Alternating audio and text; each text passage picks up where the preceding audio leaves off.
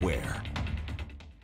Today's a day that brings to, to, to my mind two words tragedy and treason. It's been 15 years since the death of Fredy Villanueva, who was shot and killed by a Montreal police officer. It happened here. He had been playing a game of dice in Henri-Bourassa Park in Montreal North on August 9th, 2008. Advocates say they're still waiting on justice for his family. How can that be justified? You know, shooting at uh, three young men no weapons in their hands. Villanueva arrived in Canada alongside his family on refugee status from Honduras at the age of 10. On the day he was shot and killed, he was alongside his brother and others who had been playing a game of dice.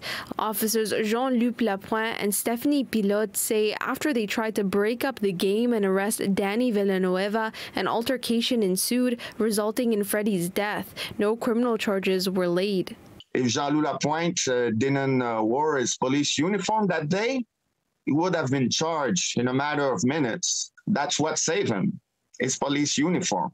More than a decade after his death, a memorial paying tribute to Villanueva in Montreal North, where he died, was never erected. But they did name this park Place de l'Espoir, or Place of Hope in English, where the plaque mentioned Fredy and the August 2008 events. A mural was created last year in the city's Villeray Saint Michel Park Extension borough. Fredy painted with angel wings. But for Ricardo Lamour, curator of the mural, more needs to be done. I think that if we see all of the other tragedies that have followed after Fredy Villanueva, I'm talking also about Ronnie Kay, um, Bony Jean Pierre, um, Pierre Coriolan, um, Nicholas Gibbs.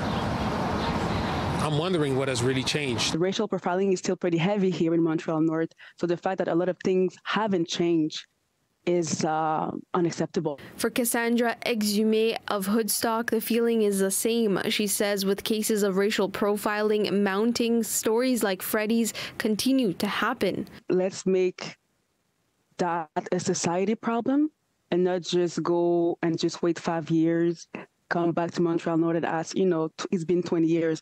Let's do something every day, every month, every year to prevent those type of situation from happening again. In Montreal, Felisha Adam, City News.